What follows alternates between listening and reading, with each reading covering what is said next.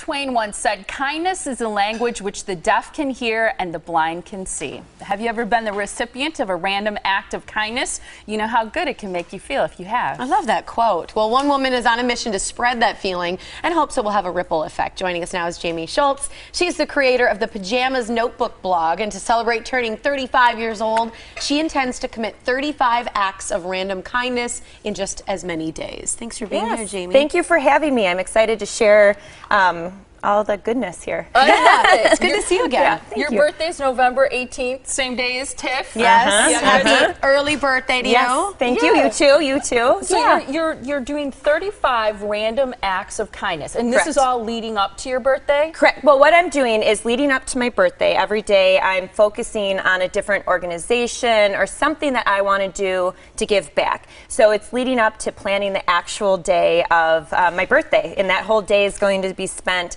actually executing all of these events. Leading up to though, too, you know, I'm doing things like donations and stuff like that, but I'm saving the real big stuff for the actual birthday day. So. Okay, so most of the stuff you're doing on the 18th. What kinds of things have you done leading up so far? the planning process leading up to it so far um, what i've done is it's it's really been a process of figuring out how to give back and who to give back to because it can be overwhelming there's a lot of Yeah. options out there and There's that a lot of need. there's a lot of need and the more you uh, want to give back the more need is coming to you and you want to do it all but obviously you can't you can't do it all. Unfortunately you just can't do it all. So what i've been doing is just really finding those things that are really close to my heart that things and topics that i'm very passionate about and reaching out to different people in the community and different organizations and saying how can i give back? This is mm-hmm. the the day i really want to do something meaningful and positive for your organization or nonprofit whatever the the case might be So, specifically, what things are you planning to do as a way to Oh my give gosh. back? Lots of stuff. I'm starting off the day by donating blood.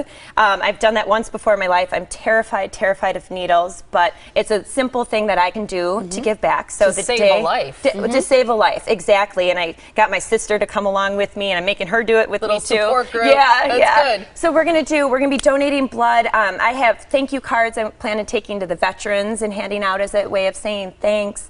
I made some fabulous, with the help of my nieces and nephews, craft kits for the children at Children's Hospital. Is that what you brought as? Yes. Oh, we sho- we just showed the Yes. the thank you. Notes. So we have the um, kits and the thank you notes, and those will be uh, donated out there. I'm working with some other organizations with um, women and children that have suffered from the hand of domestic violence. So finding ways to get involved in their organization to give back, because again, these are all things that are very close to my heart, that mm-hmm. really I, matter, that I really want to find a way to give back to. So there's a whole litany of stuff that's going to be taking place on that day to include things that are as simple as complimenting a stranger, holding the door open for somebody, just really getting involved in shedding that, I always say, that kindness ripple. You know, you do mm-hmm. one thing and it just goes out and affects so many people. So there's just lots. well, it is a lot, and that's what I was going to ask you. So, so Monday is the 18th. I Correct. know, you know, Yeah. planning it out. But on Monday, do you think by the end of the day you're going to feel rejuvenated, or do you think you'll feel exhausted trying to do so much in one day? I know without a doubt it's going to be the most powerful, rejuvenating day because just planning it and getting up to this day, I feel the most immense just uh, gratitude to be involved and be able to give back and just, just it just feels so good. So sure, there's a lot of stuff to do, but I have the support of my family. They're going to be running around town with me too, and um, it's just so rewarding to feel how you can affect another person's life. Yeah, because that's a lot to accomplish Yeah. in one is. day. So a lot of people are thinking, how do you do 35 Yeah. things? I mean, a lot of people mm-hmm. struggle to do one in a day Right. or one in a week. But Right. how do you do 35 in a day? You have Planning, you have planning, help. So are you are you involved in each one I'm doing those? every single thing. I am planning on, for me, it'll probably take, I'm assuming, maybe 10 hours. So it is going to be a very packed day.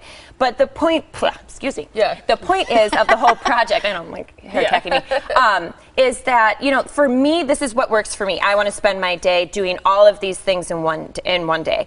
But what the message I try to get out there to anybody is you don't have to do 35 things in one day. You can do one thing in one day. So it's not a matter of how many things you're getting accomplished at any given time. It's just doing something that you can Mm-hmm. get back.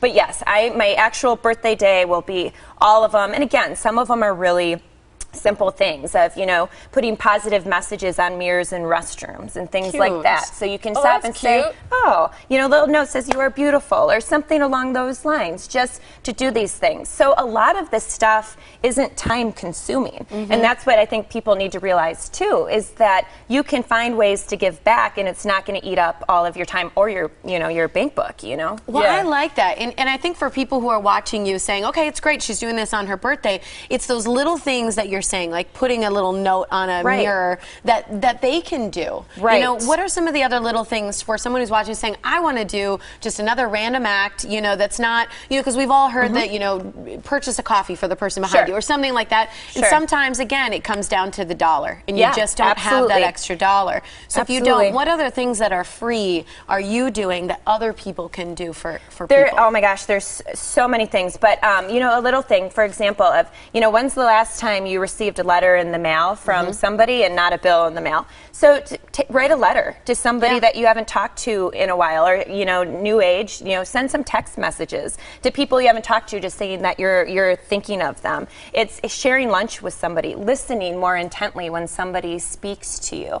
You know, you can help a neighbor. And my goodness, there might be snow. You know, you can help a neighbor shovel their walk or shovel their driveway. That doesn't take any dollars. And like I was saying before, if complimenting a stranger, holding the door open for somebody, these are all things and all simple acts of kindness Mm-hmm. that. Um, should be second nature, but you know we get in our busy life and we forget sometimes. Yeah. So there's a ton to do, I and think you get just as much reward back. These T-shirts you've made. So and those cute. are for you, ladies. Oh, we yeah, I love brought them. those for each of you. Show so Check it out. Here's the heart, and it says "Love more." It's good for you. It's I good for love you. that. And for people to find out how Great they can get involved, they can visit pajamasnotebook.com and to share stories or pictures of what you're doing Mm-hmm. in the local community. You can also go to your Facebook page.